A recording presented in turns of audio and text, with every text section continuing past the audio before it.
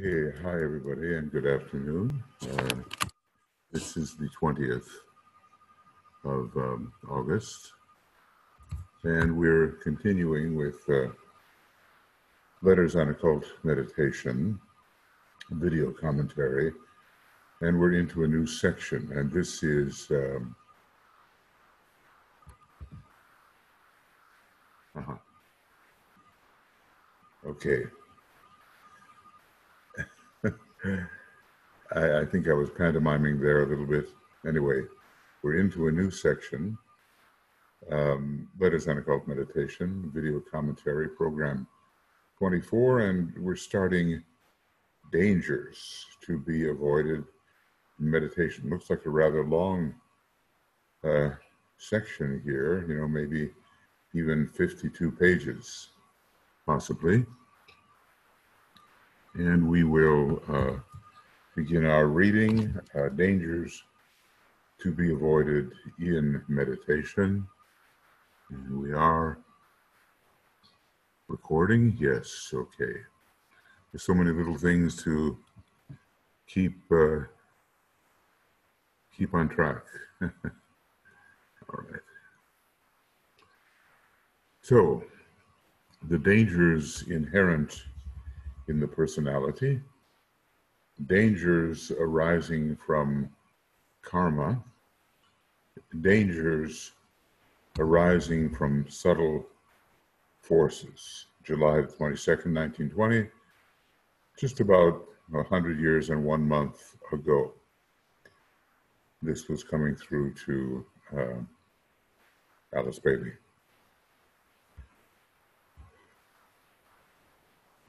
There are many personality problems, and even our entire planetary logos on a cosmic level has an issue with personality. It has not yet been subdued and will not be until the third cosmic initiation, and our planetary logos is only aiming for the second cosmic initiation. So, what holds good generally by analogy for the planetary logos holds good for uh, the human being. And the karmic situation does intervene, as it did intervene in H.P. Blavatsky's life. I think she was supposed to write still more, but the uh, Tibetan said, well, karma intervened. And then the whole question about uh, subtle attack and subtle forces. And even if they're not malevolent, they have to be handled rightly. I think uh, Torkom Saraydarian has written extensively on some of these uh, subtle, subtle forces, uh, and uh, especially the inimical ones. So, let's kind of uh, highlight these, increase them a bit, and uh, know where we're starting from, page 87. So the withholding of information under the dangers of uh, to be avoided in occult meditation. I think we should, you know, pay a lot of attention to what the Tibetan says here. We have reached a point now where the foundations of knowledge have been laid, that knowledge which instills into the wise student the desire to submit to the necessary rules, to conform to the uh, prescribed uh, prescribed requirements and to make the comprehended mental concepts practical in the experience of daily life. And, you know, we've been reading now, and once is never enough. but let's just uh, ask has that happened for us? And do we have that desire to submit to the necessary rules, to conform to the prescribed requirements, and to make the comprehended um, mental concepts practical experiences in daily life. Do we have that? And uh, and I think if we put this in planetary terms, we will see uh, much of Saturn is here indicated. Submission, uh, conformity, and practicality. Those are, you know, this is why Saturn is such a friend to the developing uh, disciple, even though the personality does not prefer it. And uh, conformity, yeah.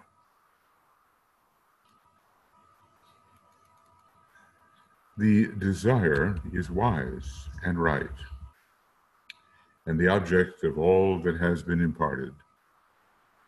But at this juncture, it may be wise to sound a warning note to point out certain dangerous possibilities and to put the student on his guard against an enthusiasm, you know, Ray 6, Mars, Neptune, that may lead him along paths that will hinder development and that may build up vibrations that will ultimately have to be offset.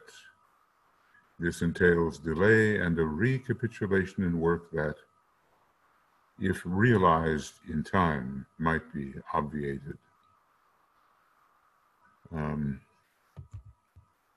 so he certainly does want to save uh, us time and he wants to see that we do not needlessly uh, repeat what we need not repeat if we are more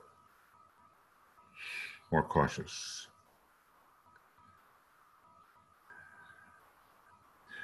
Um, I think you know, in, on the path of occultism, um, enthusiasm is much to be desired, but it can go too far uh, it can go beyond wise restraint. When you see how seventh ray magicians operate, they do operate um, with caution and restraint. Otherwise, they know that their magical operations can lead to considerable damage and even to death, which would be the uh, ending of opportunity for that particular incarnation.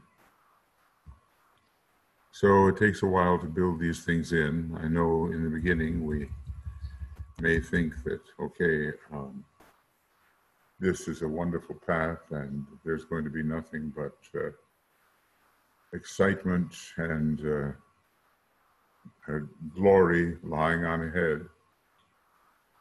And we're carried along by waves of our own enthusiastic aspiration. While we do have to maintain enthusiastic aspiration, it cannot overcome wise restraint amidst all those dangers. If you were uh, walking a narrow path. I saw once a, a kind of a movie um, that showed the life of some of these martial artists in the uh, Far East. And there were contests um, in within a ring, you know, and all the way around the ring were sharp protrusions so that if you fell out of the ring or were forced out of the ring, you might end up impaled upon one of those uh, sort of uh, daggers.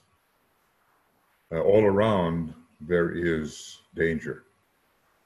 and we cannot um, tread too lightly. Uh, there are places where dancing is, is allowed and other places where dancing is dangerous. So certain statements and instructions cannot be made or given in writing. In writing, uh, so that suggests uh, for three reasons, but writing, so an oral tradition is indicated. And why? Why is this? Well, number one, some instructions are always given orally as they appeal to the intuition and are not for the pondering of the logical, reasoning lower mind. Must be something that is carried in the oral transmission, which stimulates the intuition. They also contain elements of danger if submitted to the unready and when we're dealing with uh, material that is uh, widely publicized, inevitably the unready will uh, get hold of the material and, and probably try to do something prematurely. So uh, in this case, uh, oral, it seems that um, what he's saying here is that uh, oral transmission promotes uh, in intuitive response. Okay, that's one thing. He does repeat often why he cannot give what uh, we might wish for him to give. But you can imagine, with all kinds of experimentation going on, people will get themselves into real trouble that has implications for not only the present incarnation, but for the future. And an uncontrolled situation, non productive of results for the divine plan, will develop. Number two here some instructions pertain to the secrets of the path and are mainly applicable to the groups to which the student is attached. They can only be given in joint instruction when out of the physical body and probably the hours of sleep contain uh, such moments of instruction. But this is a very occult kind of uh, statement here that these instructions pertain to the group causal body, to certain ray secrets, and to the invoking of the assistance of the higher devas to bring about desired results. So, who would suspect, you know, under normal, concrete minded consciousness, that there are such impartations given, but uh, only on the inner planes? And when we think about our groups, we should also think about the group causal body and how it is being enriched by members of the group, or maybe not. Maybe enrichment prevented. Ray secrets, higher devas. Okay, even this is the revelation of maybe what for us is unsuspected DK gives us so much information that essentially is unsuspected by us in our normal waking consciousness. And so he's made a, uh, a link between inner happenings and our uh, the outer way of conducting our life. So, uh, and so therefore, these kinds of instructions are not uh, admissible for casual uh, transmission, unregulated transmission. Reminds me of the star Regulus, right? And the idea of regulation, rulership, self rulership, part of the lion, you know. The dangers attached thereto are too great to permit of their being communicated in an exoteric publication. The occult effects of the spoken word and of the written word are diverse and interesting. Um, well, anyway, this is about the dangers. Um, inevitably, people who are unready will get hold of exoteric publications, thinking, of course, that they are ready when they are not. Um, it's just just the nature of things, and you know we have these days of the internet such uh, easy access, really. Um,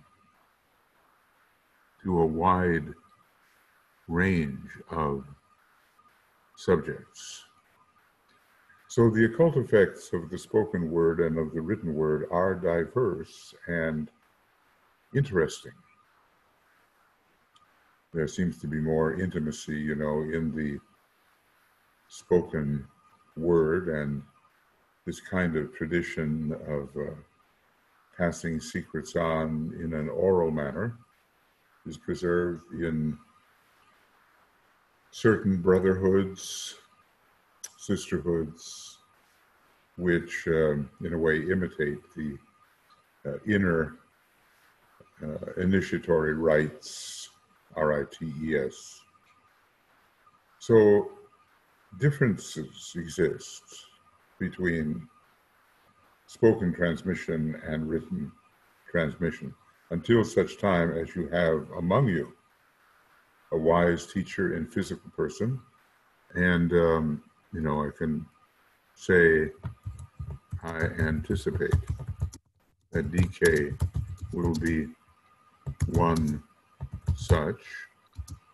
And until it is possible for him to gather around him his students, thus affording them the protection of his aura because there can be invasion and obsession and uh, just simply unwise mismanagement, you know. Thus affording them the protection of his aura and its stimulating vibration, and until such time as the world conditions permit of a certain period of relaxation from the present strain and suspense and uh, it's obvious, is it not, that uh, we are in a very strained and suspenseful condition right now. It will not be possible to impart forms, invocations, and mantrams of a specific character.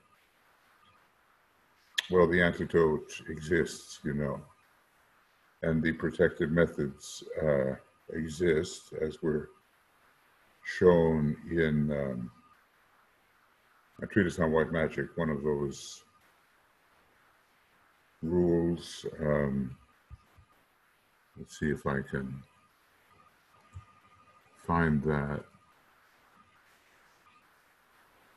You know, just uh, treatise on white magic right at the very beginning, you know. Um, the mantric, um, let's see if I can find this, maybe rule Rule 11 has some of this. Uh, here it is. Rule 11, still a, 12, 13, 22, still a rule um, for the astral plane. Three things the worker with the law must now accomplish, you know, basically the seventh ray worker or using seventh ray methods. First, ascertain the formula which will confine the lives within the ensphering wall. Next, pronounce the words which will tell them what to do and where to carry that which has been made. And this is the point here. Finally, utter forth the mystic phrase which will save him from their work. That's the one we're looking for, especially. Okay. I'm going back. So, um,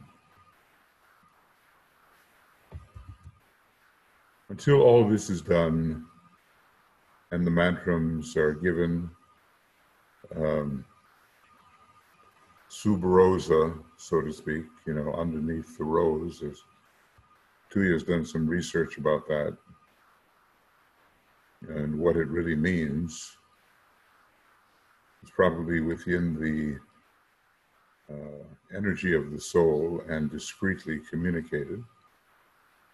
It will not be it will not be possible to impart the forms, invocations, and mantrams, protective mantrams, uh, and mantrams. I want to say uh, often of the protective variety, um, it will not be possible to arouse the head centers to the necessary evolutionary rate as they, you know, they do control the lesser centers, except in a few cases where certain pupils, perhaps unconsciously to themselves, are being subjected to definite processes which results in a greatly increased rate of vibration. This is only done to a few in each country and is directly under the eye of the master, focusing through HPB. Um,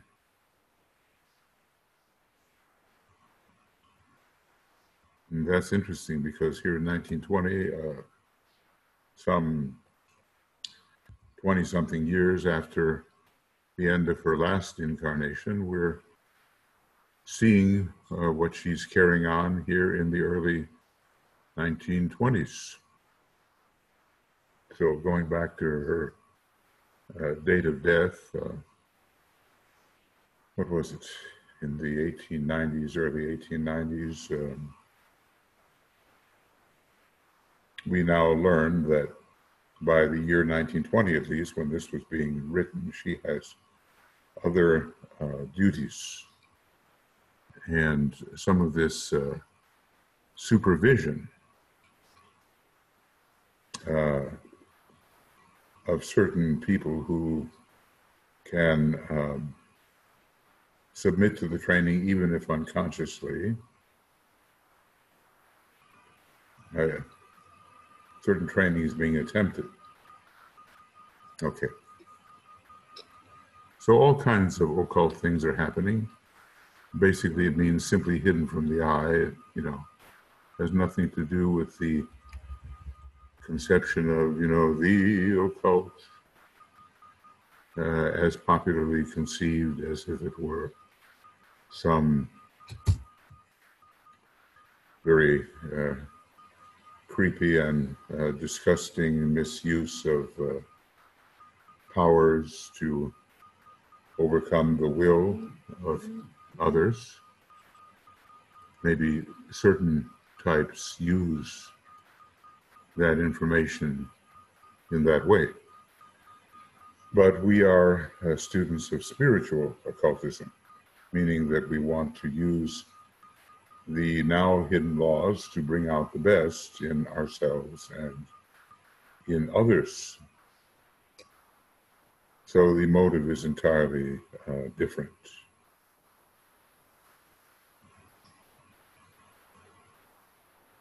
Yeah. And so, and DK does specify that really very few uh, are having these impartations of invocations and forms and mantras, um, except a few individuals, individual cases, very few. Experience these uh,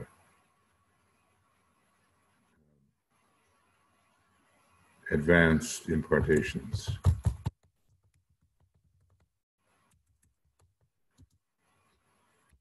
And you know, it's, best to consider ourselves, says DK, as average disciples. Otherwise, we develop a big head about it, you know, and uh, fall victim to a really retarding force uh, the force of egotism. Yeah, that is what we don't want. Okay, and we continue here with uh, reasons why certain information cannot be given in a exoterically uh, published form. Number three here, information as to the invoking of devas in meditation cannot yet be safely given to individuals though a beginning is being made with groups such as in the rituals of the Masonic Masons and uh, rituals of the Masons and of the Church. uh, formulas that put the lesser devas under the control of man will not yet be imparted human beings are not yet um, to be trusted with that power, for the majority are but animated by selfish desire and would misuse it for their own ends. I think we see this when power is presented to people and accessible to them, even if they are in highly responsible positions, they think personally. They do not think um, in terms of the welfare of the group. It is deemed by the wise teachers of the race, as I, um, let's see, where are we? As I have said before, that the dangers of too little knowledge are much less than the dangers of too much, and that the race can be more seriously hindered by the misapplication. Notice he thinks in terms of the entire race and not just of the welfare of the few, that the race can be more seriously hindered by the misapplication of powers gained by incipient occultists than it can by a lack of knowledge that engenders not a karmic. Um, let's see here. Karmic results, yeah.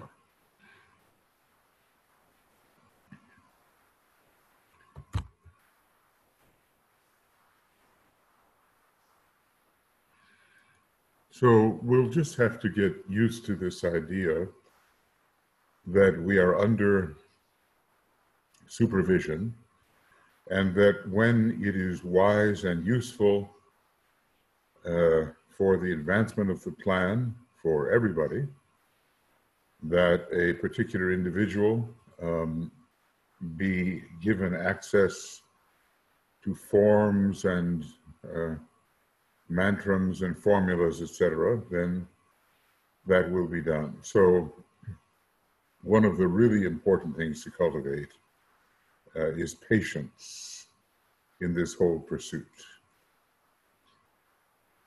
And that, of course, depends on a broad perspective and on the realization that in the eyes of the soul, a, a life of the personality is but a fleeting moment.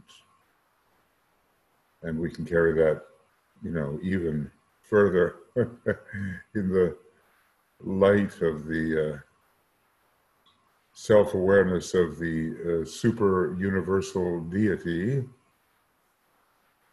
Even a universe is but a fleeting moment. And um, we may even learn that moments don't really exist. That depends on sequence and on sequence depends on division and division doesn't exist. So in Mahamaya, yes, but not in reality. But, you know, I don't think we're all ready for such thoughts. I know that I couldn't live my Mahamayavic life if I was always having such thoughts.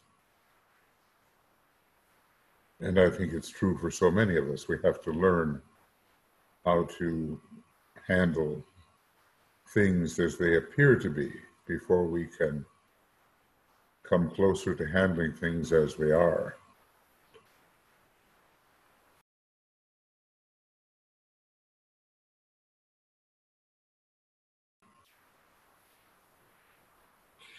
The um, powers gained in meditation, the capacities achieved by the adjustment of the bodies through meditation, the faculties developed in each vehicle by definite formulas in meditation. Um, the manipulation of matter, that is one of the functions of the occultists, the result of well adjusted vehicles that respond perfectly to plane conditions, and the attainment of causal consciousness, a consciousness that carries with it the ability to include within itself all the lesser, all the lesser, are of too serious a character to be lightly disposed of, and in the training of man along these lines, only those are encouraged by the teacher who can be trusted. Uh, let's see, what does it say here? Only those, um, yeah, by the teacher are encouraged by the teacher. Only those who can be trusted are encouraged by the teacher. So let's look at a few of these factors that he's uh, dealing with. and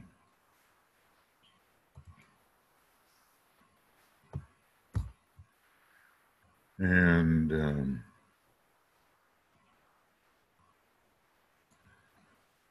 this is simple instruction. So, yeah, he's going to go into an illustration here. The powers that are gained in meditation and the capacities achieved by the adjustment of the bodies through meditation. Okay, those are two. The faculties developed in each vehicle by definite formulas in meditation.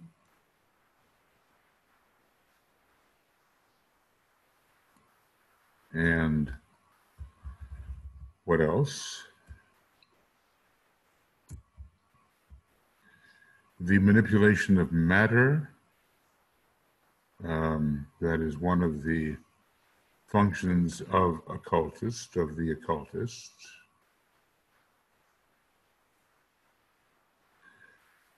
And the attainment of causal consciousness. And maybe we can recognize when causal consciousness is dawning upon us a consciousness that carries with it the ability to include within itself all the lesser types of personality consciousness, vehicular consciousness, are of too serious a character to be lightly disposed of. Uh, and in the training of man along these lines, only those are encouraged by the teacher who can be trusted. So I'm going to uh, kind of uh, number these. The um, capacities, number two, and the faculties, number three, uh, and the manipulation of matter, number four, and um, the attainment of causal consciousness, number five. All of this, you know, lies ahead. They cannot be uh, easily made public. And the teacher has to assess the um, condition of the individual to whom uh, impartation is being uh, considered. So, in what sense trusted? Trusted in what sense? Trusted to think in group terms and not in terms of self. Trusted to use the knowledge gained anenta bodies and the karma of environing associates solely for their wise assistance and not for selfish purposes, trusted to use occult powers for the furtherance of evolution and for the development on all planes of the schemes of evolution as planned by the three great lords. So these are the areas of trust, and let us ask ourselves seriously are we to be trusted? Are we to be trusted? It's a serious question. Trust in what way? To number one, think in group terms. Uh, number two, to use the knowledge gained.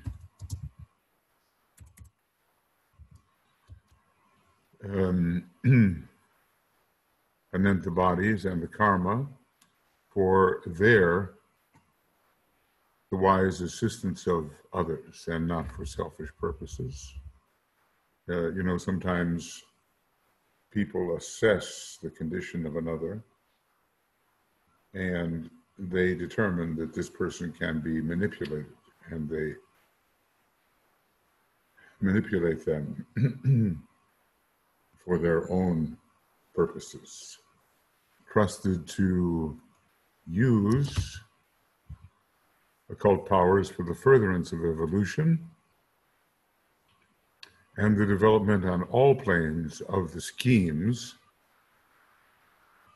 more than just the Earth scheme eventually, um, as planned by the three great lords, the Manu, Bodhisattva, Mahachohan. So let me illustrate, he says.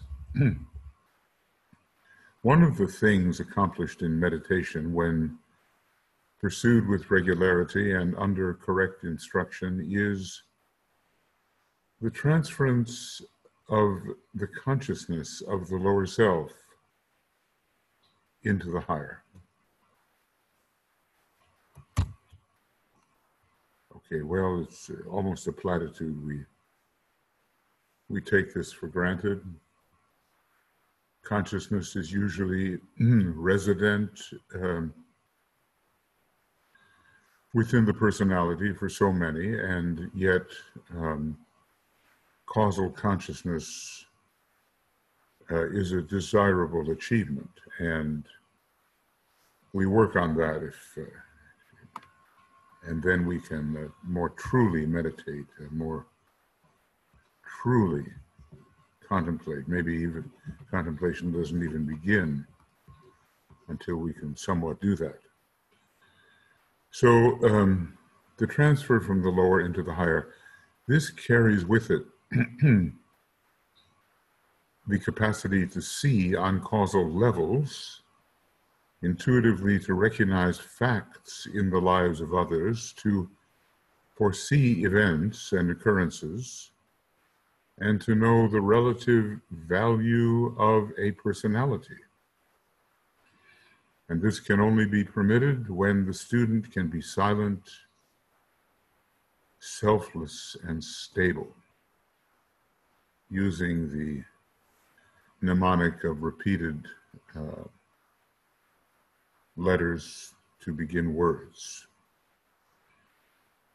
So when you have this kind of power, you know, you don't want to be taking advantage of the people into whom uh, you can see. To see on causal levels. Um, number one. And to uh, recognize facts intuitively and to foresee events, as obviously the Tibetan seems to have a knowledge of upcoming events in the lives of his students and, you know, maybe when they will uh, depart the dense physical plane. I remember he was saying uh, to a uh, to an individual who later was uh, killed in the war, the Second World War, that his time for awakening in the light, uh, free from the bonds of flesh, had was not yet. The Tibetan could see when that was coming, and he also saw the karma of it related to the French Revolution. And to know the relative value of a personality. These are secret matters, really.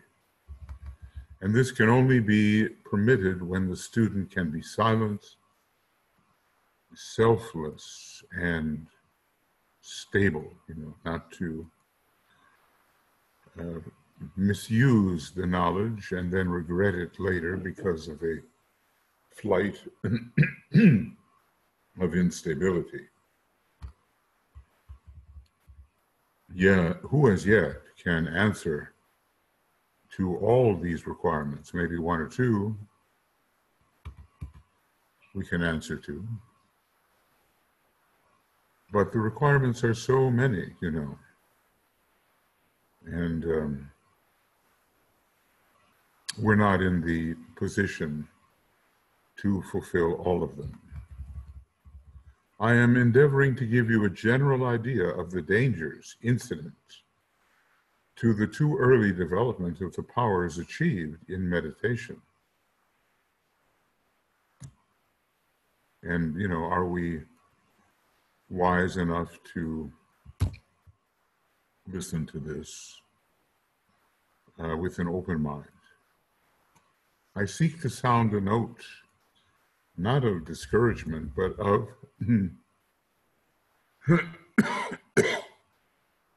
of insistence upon physical purity, on emotional stability, and on mental equilibrium before the student passes on to greater uh, knowledge.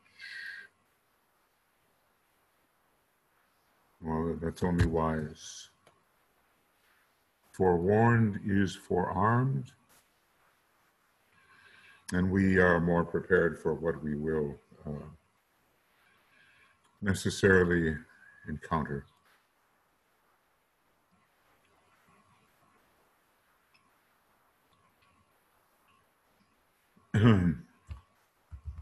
Only as the channel opens to the intuition and closes to the animal nature.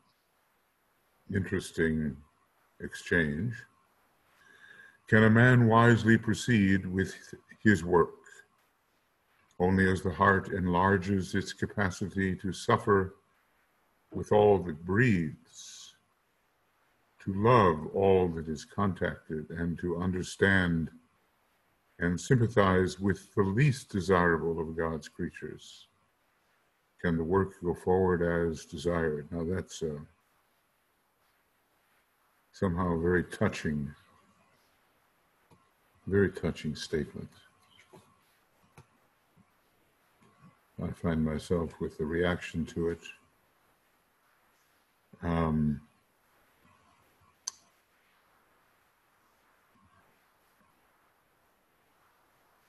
and that means, you know, where does the so called enemy fit uh, in our um, assessment?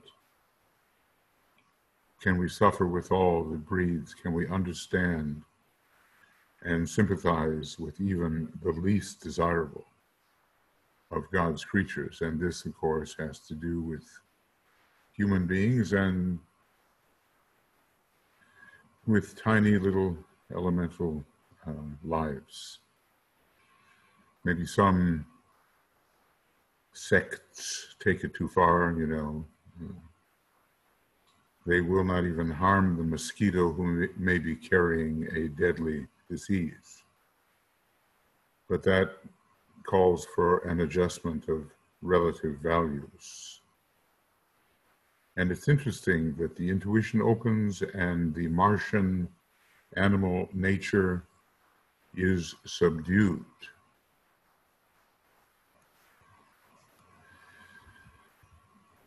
So the, in a way, the red gives way to the blue speaking in, you know, symbolic terms, but maybe not so symbolic. Maybe there's something quite factual about it. Uh, so here is point number one the channel opening to the intuition and closing to the animal nature. That's really something to remember, isn't it? I think so. And here is the capacity of the heart enlarging and to love all that is contacted. That has to do with uh, venomous creatures, you know. Um, snakes, spiders, you know, all of those uh, kinds of creatures, deadly, dangerous creatures, sharks, and uh, other uh, animals that can easily take uh, end a human incarnation, but the capacity to suffer with all that breathes to love all that is contacted and to understand and sympathize um, with the least desirable of God's creatures. Only then can the work go forward.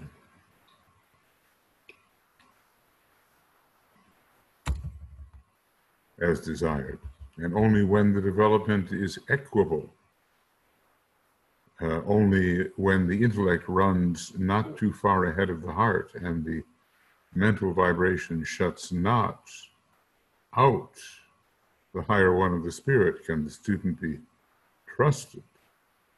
To acquire powers that wrongly used may result in disaster to the environment uh, as well as to himself. That somehow that story in Agni Yoga, is it, um, of the Buddha's disciples eager, almost childishly, to do a miracle. And the Buddha was at first uh, hesitant, but then maybe saw the possibility of a lesson to be learned. And uh, when the miracle was over and the imbalance, uh, the wrong use of the powers had had its effect, the Buddha revealed to the practitioners, his students, what they had done. Um, as a result of your interference, your meddling, a ship is sinking. Send help. You know, and uh, something like uh, a messenger is being, a, a messenger carrying a vital information is being hunted or endangered by a lion.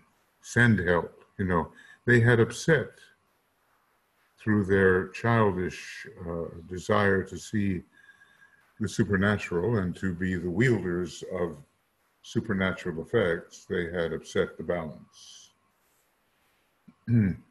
so equic- equability, we, that which is equable, equability, I, I don't know which word that should be, but uh, this is necessary in the mind.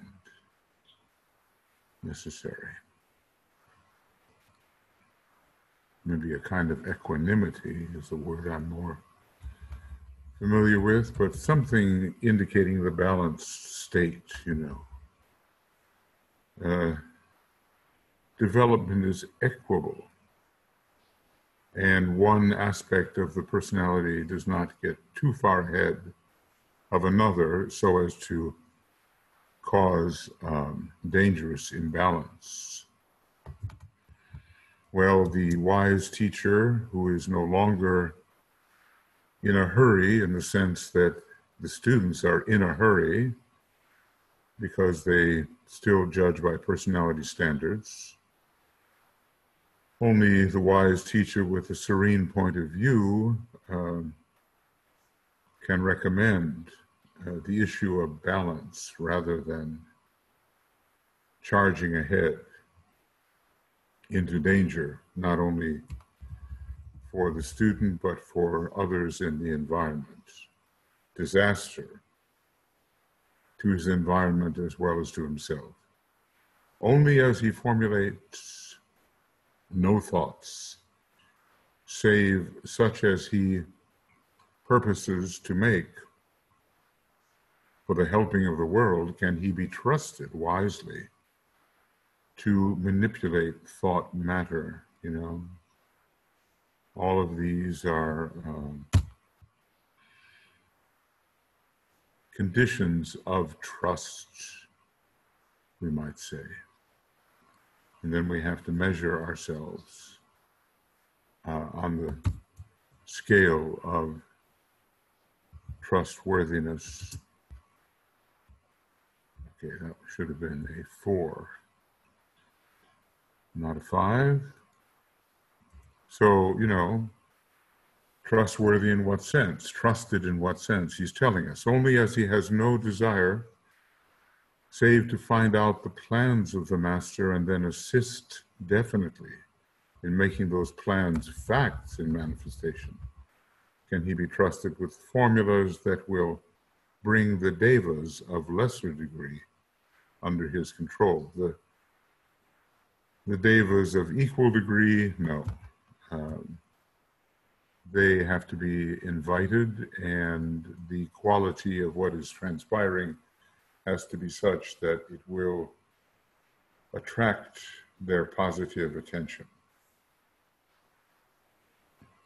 But it is possible, as and he gets into this, to command certain lesser devas and uh, especially elementals, and to bring about uh, real storms of disaster. So,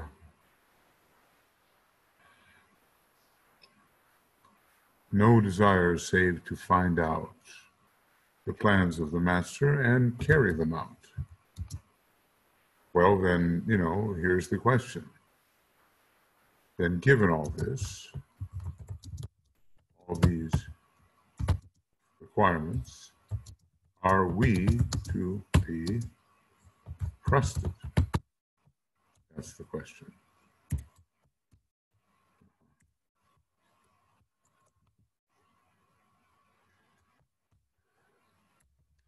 The dangers are so great, and the perils that beset the unwary student so many, that before I proceed further, I have sought to urge caution.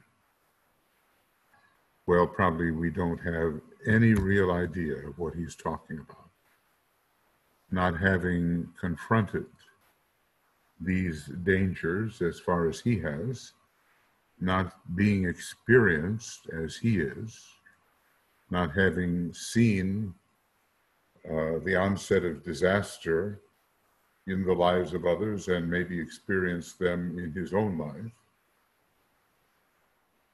So, you know, we don't really yet know what he's saying, but we realize that he's attempting to offer wise counsel.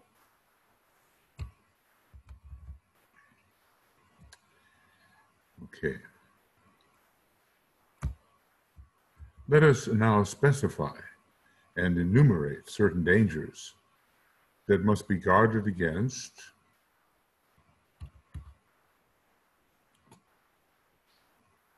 by the uh, man who progresses in meditation. Some of them are due to one cause and some to another, and we shall have to specify with accuracy. I guess we can certainly be prepared for the real experience by attending uh, with uh, solicitousness to uh, what he has to say. So, specify and enumerate certain dangers. That's the next little section here. And um,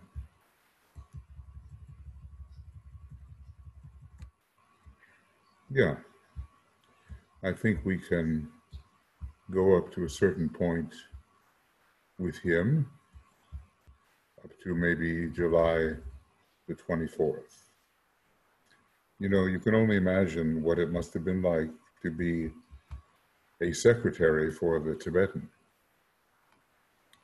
the tremendous strain that would be put upon one's mind and nervous system in order to get it right and to be faithful to the quality of the source that is communicating this necessary knowledge. Once Alice Bailey um, talked about why it had been possible for her to accomplish so much in her incarnation. And at first I thought, well, how does she, you know, not really knowing the scope of her work, and maybe I still don't, but um, how does she dare to talk about accomplishing so much? Um, because maybe what she accomplished was not obvious to a beginner like myself. But then as I got into it further and further,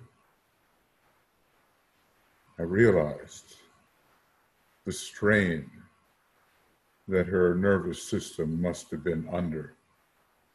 You know, she was really deep down an experienced disciple, even though the early part of her life was uh, sort of captured by the prevailing almost fundamentalism of the Christian religion, what she really was began to emerge later.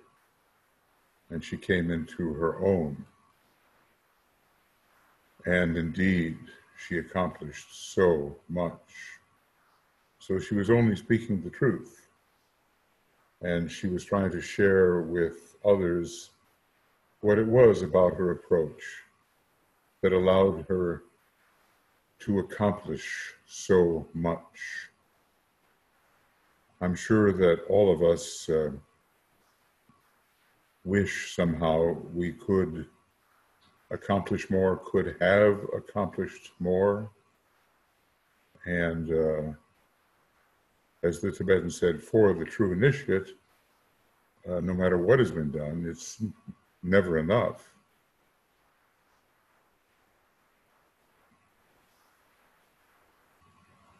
But uh, gradually, we learn the techniques which allow us uh, to avoid the pitfalls and the wastes of time uh, and all those behaviors, external and internal, which uh, obstruct our full potential for accomplishment. So, what are some of these dangers? Number one, danger, dangers inherent in the personality of the pupil. They can, as you foresee, be grouped under three heads physical dangers, uh, emotional dangers, and mental dangers. Well, I think, you know, that Trinity is always uh, with us as we consider the personality and its uh, serviceable potential and also its um, potential for obstruction. So there are certain conditions based upon our many incarnations, and they produce tendencies or um, skandhas,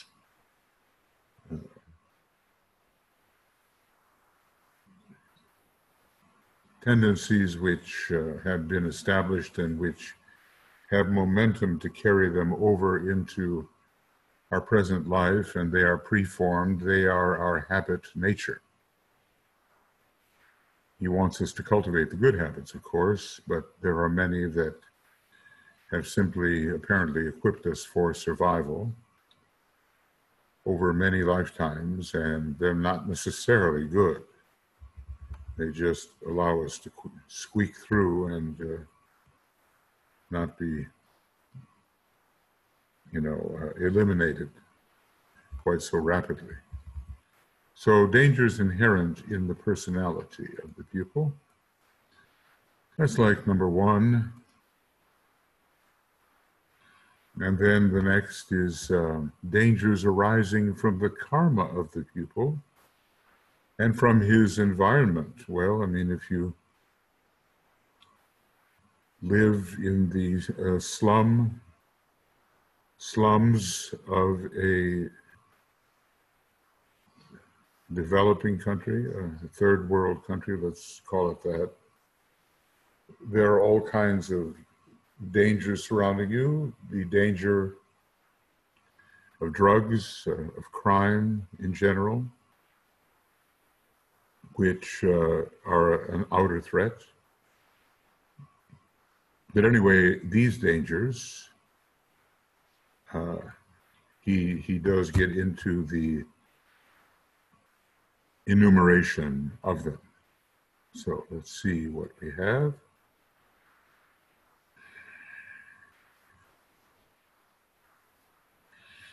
The uh, karma, A, the karma of his present life, his own individual ring-pass-not as represented by his present life. He has limitations. Um, and it depends on what kind of environment uh, uh, he is placed for the expression of those limitations. The man has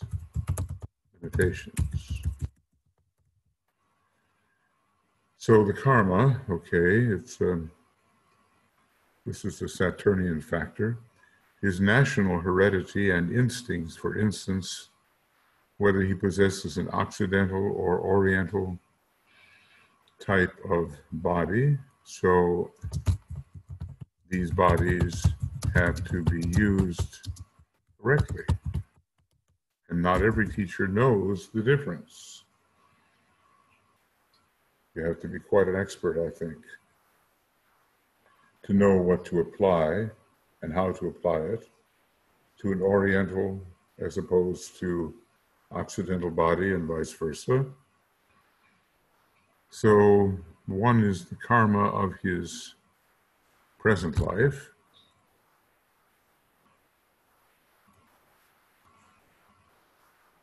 And the other here is the national heredity and instincts. Now, without a, a knowledge of these things, uh, meditation will be wrongly assigned, and direction upon the spiritual path may be um, not helpful or even hurtful.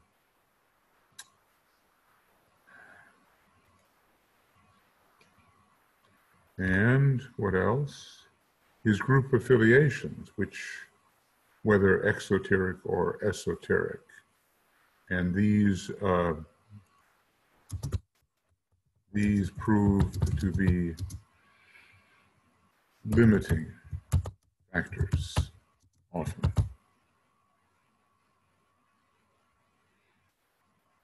And many things which obstruct the individual are found within the individual's uh, group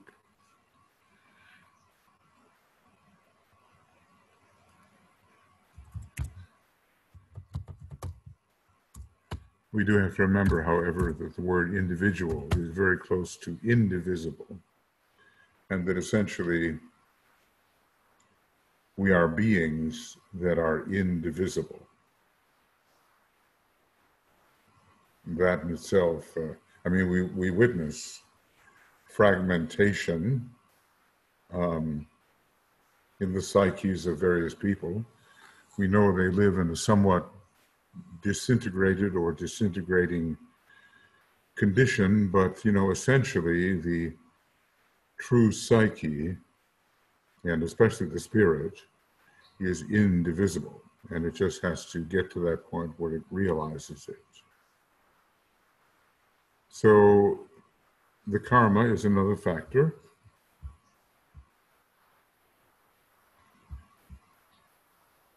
So we're enumerating certain dangers and the origins of these dangers. Personality is an inherent danger. You know, we just have to clean up our act before the Christ principle, the soul principle, can really uh, appear, just the way humanity has to, as a whole, clean up its act before the Christ can reappear, always to a certain extent, and never to the point of perfection. Otherwise, uh, who knows, would we ever reach it? Ever reach that perfection? So, personality dangers and uh, karmic dangers Uh, the karma of the pupil and of the environment. And then um,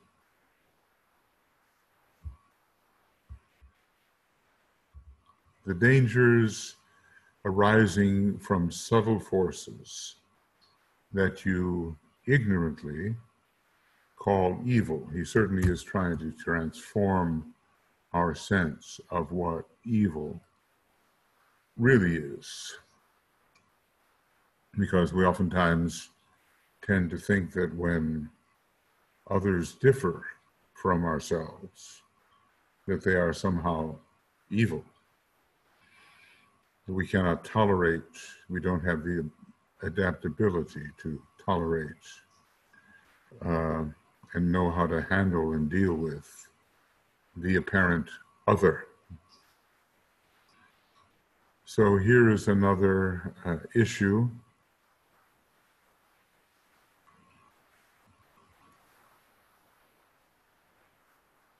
and we'll see on this important subject. Such dangers consist in attack on the pupil by extraneous entities on some one plane. And I guess we can say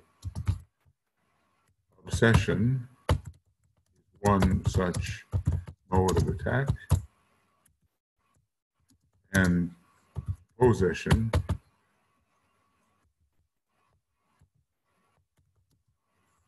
is a more severe uh, mode.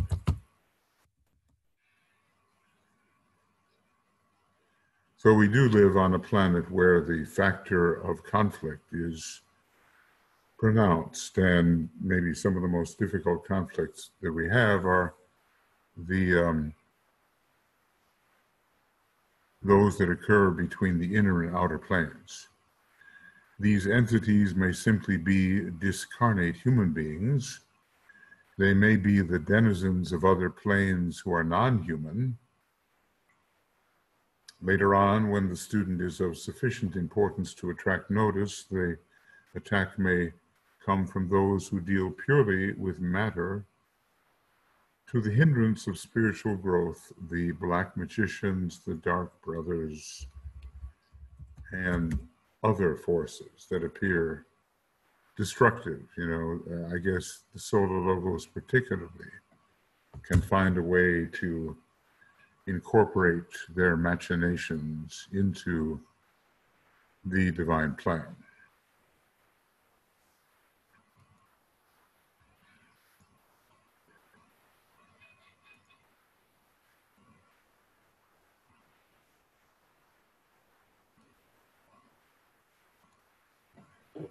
So, you know, we don't want to become paranoid about it and fearful. It's just something that exists in the subtle worlds, and uh, it does war militantly, as DK tells us, uh, against the efforts of the true disciple.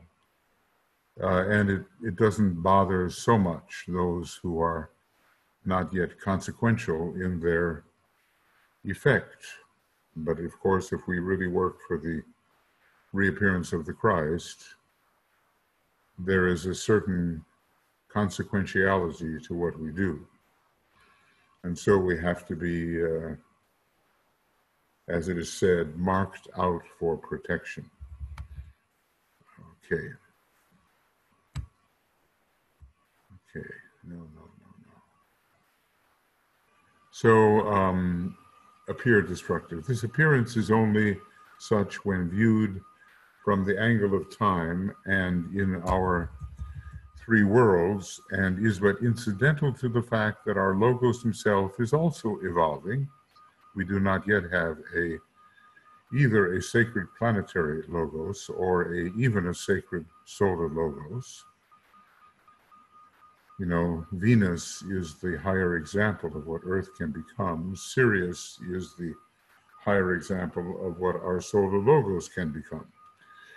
This appearance is only such when viewed from the angle of time and in our three worlds, and is but incidental to the fact that our logos himself is also evolving, and from the standpoint of the infinitely greater ones who assist him in his development. It is dependent upon his transitory uh, imperfections. The imperfections of nature, as we term them, are the imperfections of the Logos and will eventually be transcended.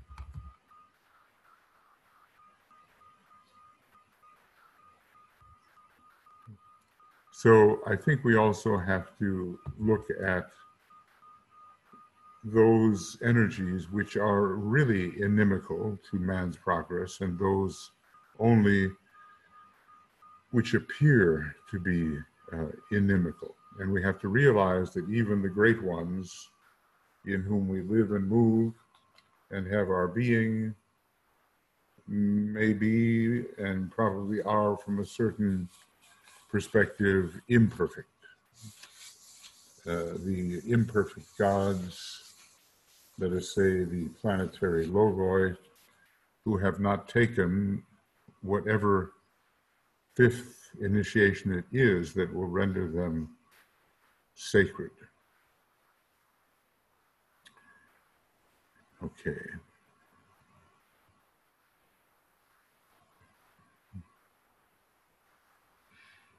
You know, we, we are studying things that appear to be far out, beyond the pale, and beyond the normal considerations that we give as we live our life, live our incarnation.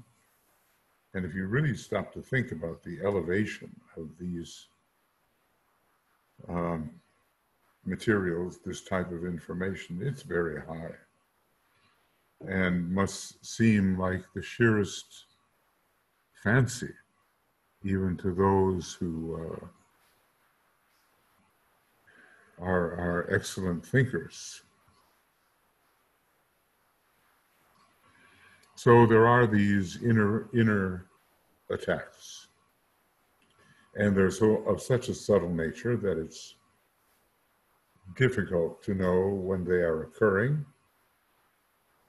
It's not like an open enemy, it's more like the enemies of the 12th house in the chart, which are considered hidden, hidden enemies. And therein lies their power, their hiddenness, their obscurity, their inability uh, to be uh, easily detected. When do they come near the aura? When are they a danger? Can we sense the approach of these negative entities? So DK says, I guess he's getting near the end of that letter for today. I have therefore outlined for you this morning the material I shall seek to impart during the coming days.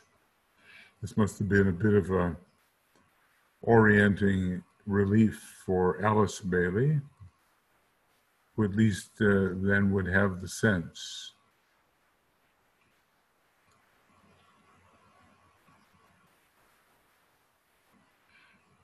Hmm.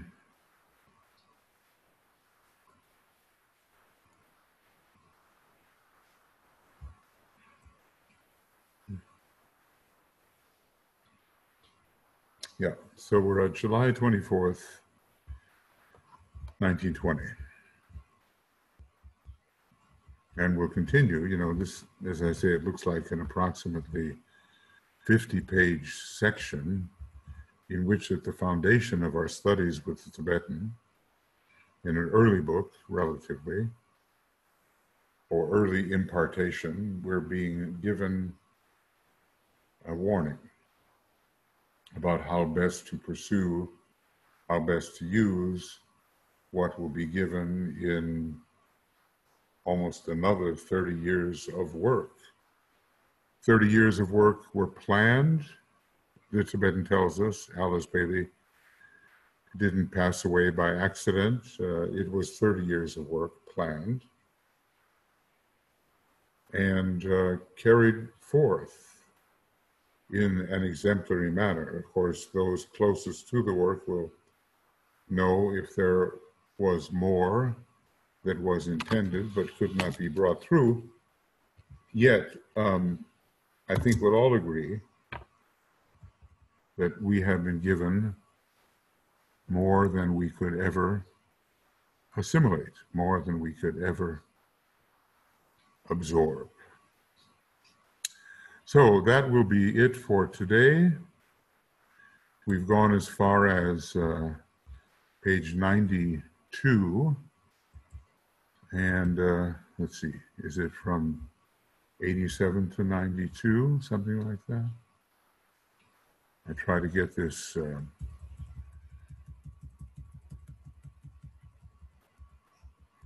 yeah, it looks like we started here. Yep, 87 to 92, almost 93. And I'll carry this um, down. And so we know where we are when we begin again. It's a wonderful book. And uh, whether we read it in the beginning of our work, as some have done, uh, or whether we read it for the first time or again in the later uh, part after many years of study. With the Tibetan, it still is uh, foundational and it still fills in the blanks. So many of them, you know. So this was the end of 24. A good shambolic number. And uh, it's the 20 of August. And we went to page 92. And then we'll begin with program number 25 next time, which will begin at 92. Page, um, okay, this is page 87 to 92. I guess um, deep assimilation of the material is what we strive for here. And uh, let it really sink in and determine uh, our behavior on three different levels. And let, let this material help us confront almost inevitable dangers to be encountered on three different uh, levels. So we'll begin at 92 next time on the XX of August. Hopefully it will be August. I think so. And maybe even later tonight. Could be. We will continue with the discussion of the dangers.